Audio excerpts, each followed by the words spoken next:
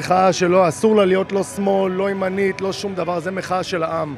כל ישראל הייתה צריכה להיות במחאה הזאת. אח שלי הוא נכה צה"ל, אח שלי הוא הלום קרב. אח שלי ברגעים אלו עובר עוד ניתוח בגלל ההפקרות של משרד הביטחון ואגף שיקום.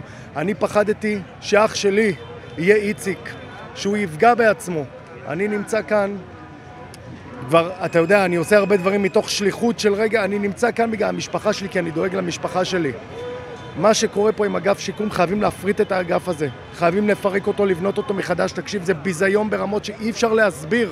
מה שהם עושים ללוחמים, מה שהם עושים לאנשים שחירפו את החיים שלהם, ששילמו על הכל בשביל להיות פה, זה פשוט בושה.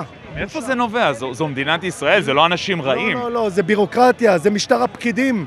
זה בירוקרטיה, מה שמתיש את האנשים כאן זה הבירוקרטיה, מש... הבירוקרטיה משפילה אותם. כדי לקבל נעליים הם משפילים אותם. אתה יודע מה אח שלי היה צריך לעבור בשביל לקבל משכורת בקורונה בזמן שהוא ישב בבית? אמרו לו, לך תעבוד. לא תעבוד, לא תקבל כסף ממשר... ממשרד הביטחון. הוא אמר, איך אני אעבוד? אין עבודה, כולם בסגר. לא מעניין אותם. גוף בירוקרטי, לך דבר עם הקיר. אז אתה פה בהפגנה, מה אחיך אומר ו- ומדבר איתך בימים האלה? אח שלי מרוסק, הוא נמצא, אמרתי לך, עכשיו בניתוח, ברגע זה הוא נמצא בניתוח. הוא באמת, לא מצליחים אפילו למצוא לו פתרון לזה, הוא הלך לניתוח פרטי, כי עוד פעם הבירוקרטיה גמרה אותו, הוא משלם על ניתוח לבד, על זה שהוא הקריב את הרגל שלו למען המדינה. תשמע, זה ביזיון מה שקורה פה ברמות שאי אפשר להסביר. ואני כל כך מבין את הבן אדם הזה, אני לא מה...